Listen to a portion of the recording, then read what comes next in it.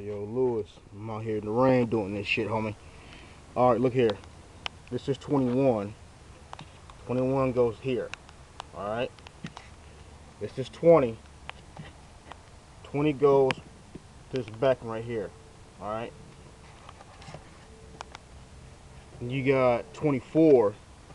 24 goes right here. All right. Um, trying to find the other vacuum line here. But um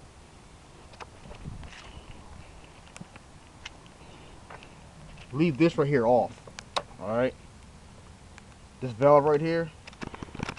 Um, I don't know if you can see this. But leave that vacuum off. Alright. Um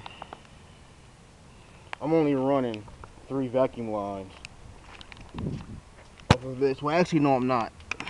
Here's three right here. then the EGR, the EGR is number 16.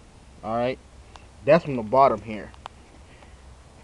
Then this little short one back under here.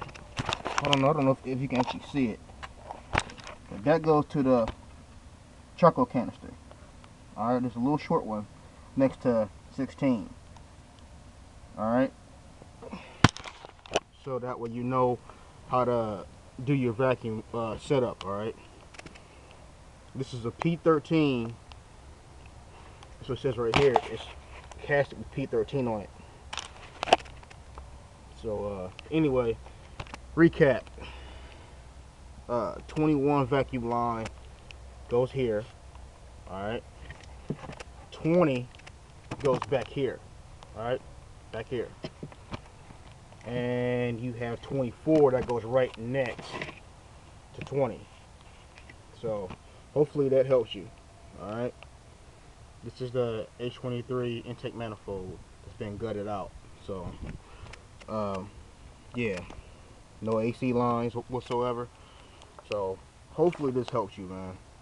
All right. If you got any uh problems or questions, man, you got my number. All right.